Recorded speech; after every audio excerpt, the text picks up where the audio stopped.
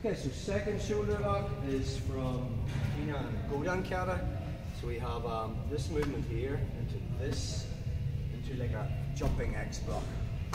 So again, just from uh, this position here, again, you know, he's taking away my whole awareness. He can be coming straight in with a headbutt, whatever. You get a lot of people, uh, relax, will be coming in, I don't want any trouble, wash. Or they could be, you know, disarming you with their hands.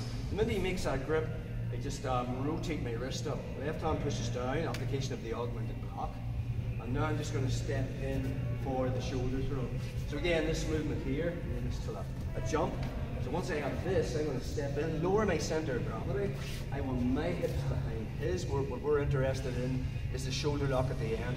And now from here, I'm just loading him onto me, taking him over. Just turn this lever up.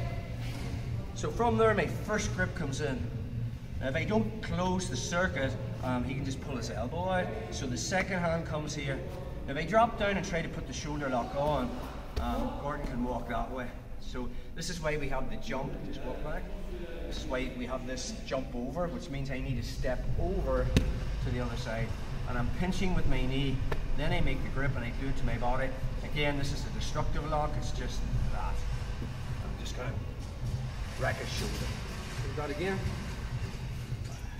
from that grip, even before a headbutt comes in, I'm just here. Again, this. Then I step in, feet inside, and now from there I'm just going forward.